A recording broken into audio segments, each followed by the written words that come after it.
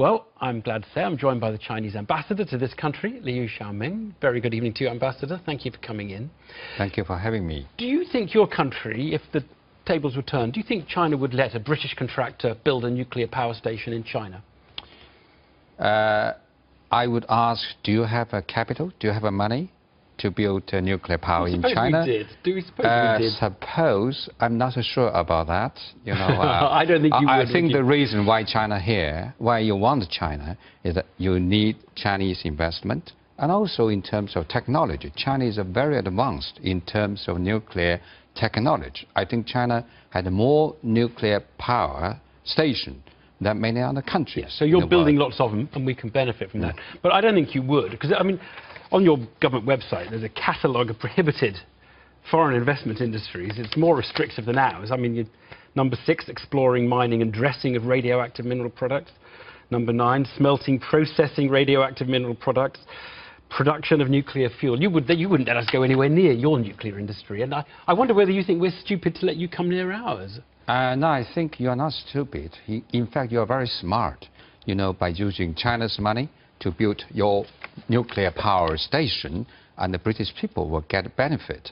You know, if we can do that, we would love to do it. Right. It's win-win. It's win-win. Yeah, I quite agree with you. But then look, there are lots of other things you don't do, which we are really good at. I mean, air traffic control. We've got a great air traffic control company, prohibited uh, to, for a foreign investment industry.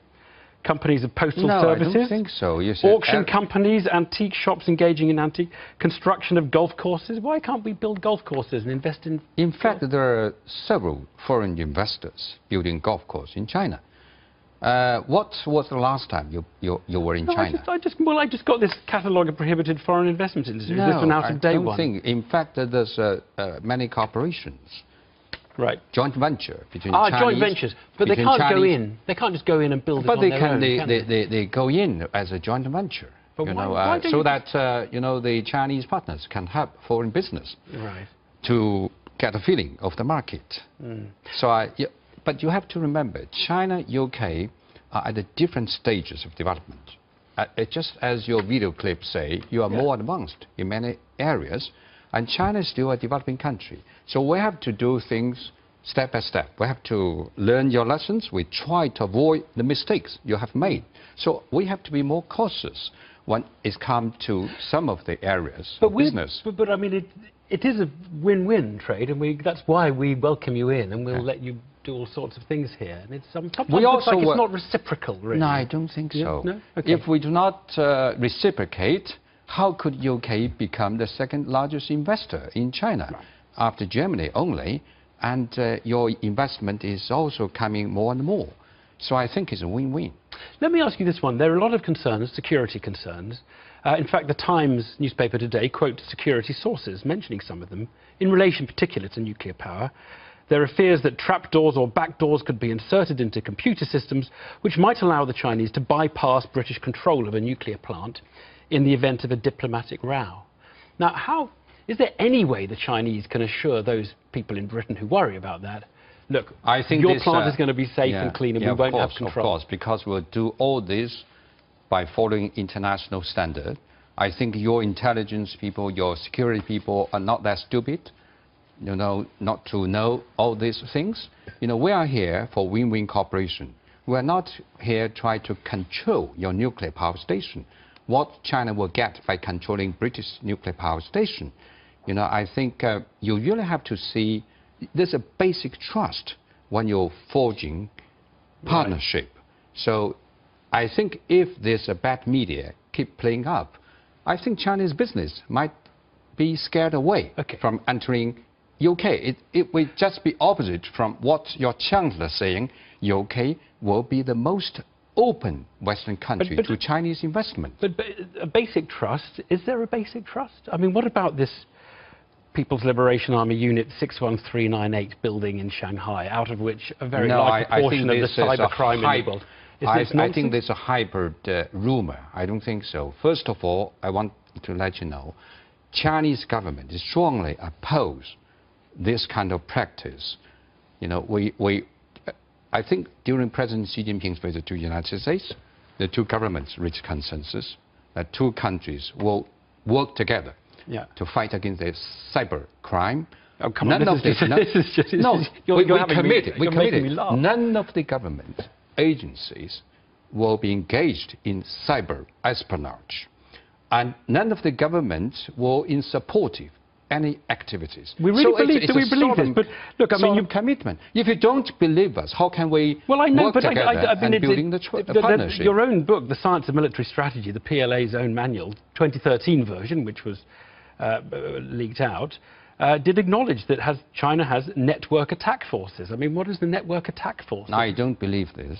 I don't think we have any cyber, uh, cyber, Cyber attack forces. And I think, uh, you know, in fact, China is more open for cooperation. Uh, we, and in fact, China itself is a victim of uh, hacker attack. well, that, yeah. and, and, and, you know, in China, we have a saying, Confucius philosophy. I'm sorry Right, to bring okay, back, it's uh, like a- you know, 3,000 years back. Yeah. Do not do to others what you don't them to do for you. That is Right. our philosophy. We will follow this philosophy. Yeah. You know, uh, since China is a victim of hacker attack, we do not want to uh, inflict same attack onto the others. Right. Look, very briefly, human rights. If Britain makes a big fuss about human rights next week, if there are big protests, suppose the opposition leader, suppose the Prime Minister talks a lot about human rights and our version of it, will, that, will we have a price to pay in trade and You- do you, investment? first of all, I would ask you this. Do you think uh, human rights are perfect in UK? Number No, one. no, but we Secondly, our do you think uh, UK's uh, model is the perfect for the worldwide? I think every country has its own conditions, how to improve the human rights, how to protect the human rights. Do you agree with me? yeah, I do. What I'm not- your, is your definition of a human right? No, but I'm not, I'm not criticising your human rights. Sorry, my question wasn't about your human rights. Okay. The question was, if we criticise your human rights, And will, we- will we have a? And you can criticise ours. Uh-huh. Will we That's pay a what the presidents uh, are here for, criticizing each other no, on human no, rights. If it came up, would there be a price to pay in terms of investment? Because I'll tell you why. I think if your president came here and criticised our human rights, I think That is not. Uh, he's not going to do that. I know. No, it's not we would still carry we on. respect the conditions of other countries. We think human rights basically guaranteed by Chinese constitution, protected by Mm-hmm. constitution, and it's really uh, internal matters to be to begin with. And of course, you, I I hope you would have a big picture about human rights in China.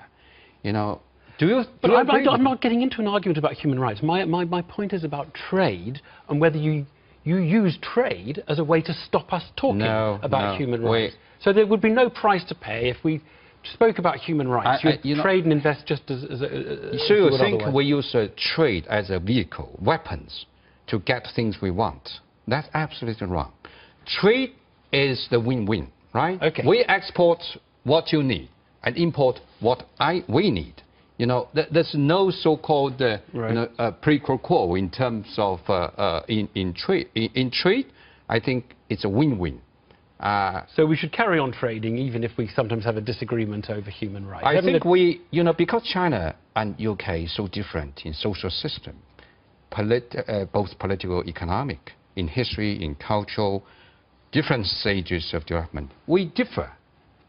That's naturally. Yeah. You know, but we can still do business. I'm and sure we can right. reserve our differences and seeking common good. I, do you agree with me? I, I do agree with you. I do. I'm glad we agree on that. Look, just one very quick last one. Our, our health secretary spoke about his Chinese wife and the working values in Asia. He said we, we, we want to be a country that can work hard in the way the Asian economies do. Do we have a, a work, good work ethic here, or do we have benefit levels that are too high I that think I think the two countries can learn from each other. Chinese people are working very hard, uh, but the British people uh, are very creative. So our two people can learn from each other. And we're, and we're not hardworking. Learn- is that- learn for- uh, we don't not work as hard as the Chinese no, people. not sure, as hard as Chinese sure, people. sure. So that's how China can make a miracle just in 30 years to Yeah. turn a relatively poor country into the second largest economy. I think we should give a credit Oh, to the hard-working spirit of Chinese Yeah. people. In 40 years' time, do you think China will look more like Britain? Do you think, for example, there may be a, a democratically elected president? So that's we come to the basic uh, difference here. You believe yours is democracy, and we believe our system is democracy. We call it democracy of Chinese characteristics. One other, some people you know, look at UK. Your system, you know, the way you elect your national leaders, it's not direct election. And in China, it's also in indirect direction. We elect a county mayor, county deputies. County deputies Yeah. elect the provincial deputies, the national deputies. This is a bigger conversation. We national will- leader. We'll get you back and we'll have this. We'll, discuss that one on. We can own. spend the whole evening talking Ambassador- about the democracy. Thanks. Ambassador, thanks for coming. Thank you. Thank you.